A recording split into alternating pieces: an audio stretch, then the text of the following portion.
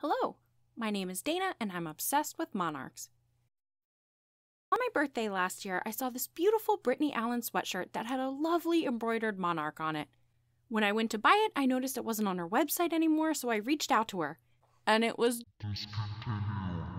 I pouted for a while and then decided that I would try to make my own. I have never sewn clothing before, I've never drafted a pattern before, I've never changed my serger thread before, so this will be a learning experience for you and I. Can learn from my mistakes. And believe me, I made mistakes. I used a sweatshirt that I stole from Kevin because it's big and cozy to make the pattern. I used some tissue paper for the pattern. I just taped some of it together to make it long enough. I folded the sweatshirt in half and put it on the tissue paper. I made sure to smooth out any wrinkles. Then I traced the outline of the body of the sweatshirt. Only trace to where the ribbing starts on the bottom, because we'll add that in later. Fold the sleeves and neck out of the way the best you can to trace the curves.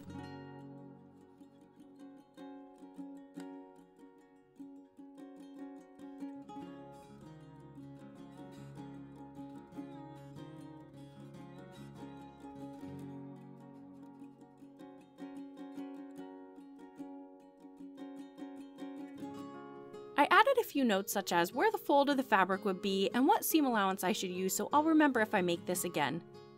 Then I took a ruler and marked out half inch dots all the way around and connected them, which I'll use for my seam allowance. The only place you don't add in a seam allowance is where the fold line is.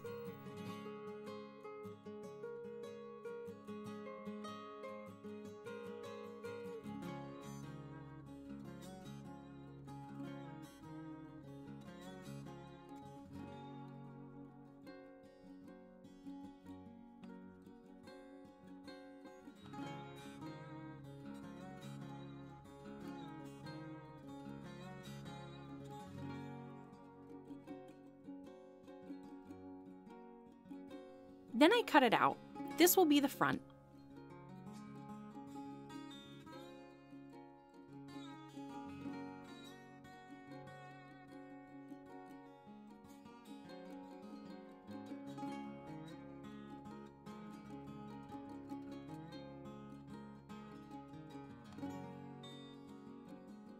I transferred the front pattern onto another piece of tissue paper and traced everything except for the neck because that is higher in the back.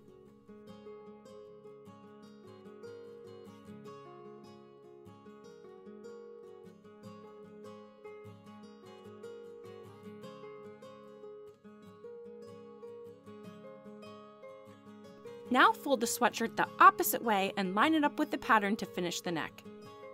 Remember, your seam allowance is already accounted for on this piece.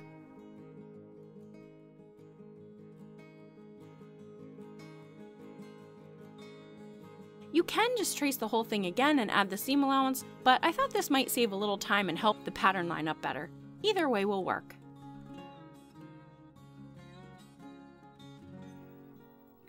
Again, just fold the neck part out of the way and trace along the curve.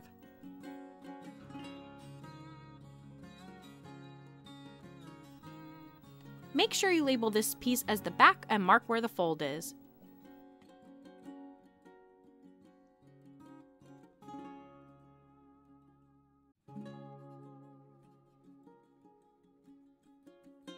I worked on the sleeve next. Lay this out on the tissue paper and trace around the entire thing, but leave out the cuff.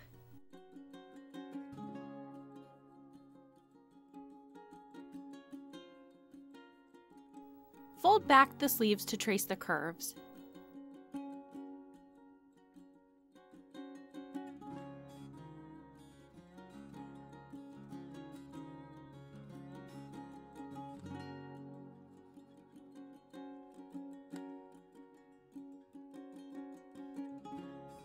The top edge will be the fold of your fabric.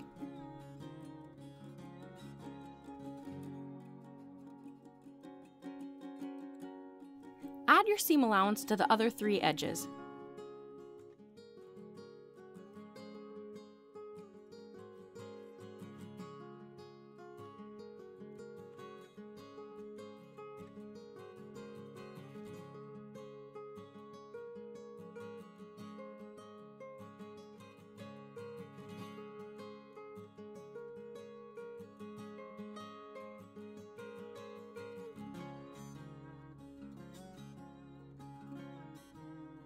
Take note the mistake I made here.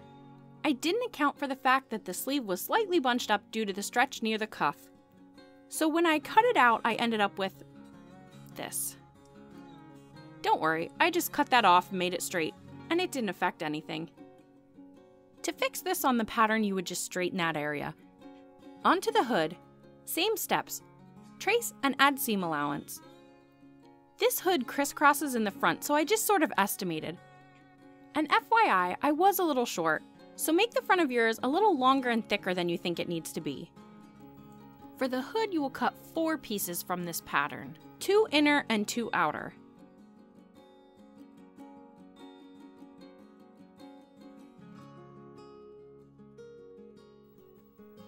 Since nothing is placed on the fold, draw your seam allowance around all the edges. This is like a big game of connect the dots.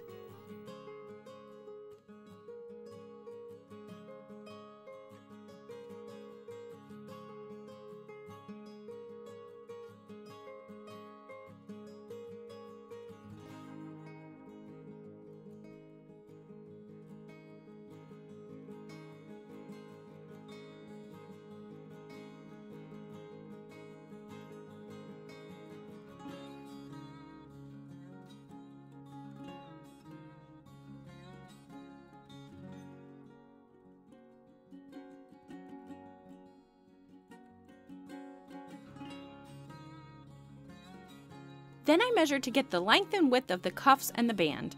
We'll cut those out of the ribbing. This will be placed on the fold lengthwise. You'll see what I mean when we put this whole thing together. I wrote those measurements on one of the body pattern pieces so I wouldn't forget. And last, I took some measurements for the front pocket. I measured across the top and bottom the total height and then took two measurements for the side the height to the opening for the hands, and then from that point diagonally to the top. I drew up my pattern and decided to half it so I can place this on the fold as well, mostly because it fit perfectly on this scrap of tissue paper.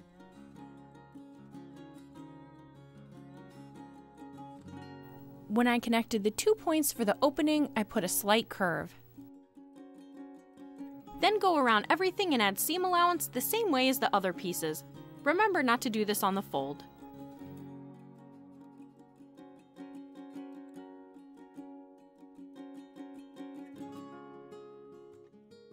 I realized I forgot to add seam allowance at the bottom, so I shifted everything up a half an inch.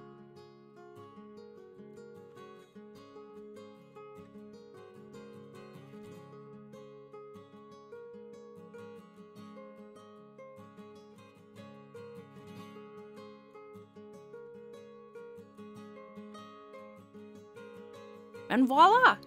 Pattern pieces are done.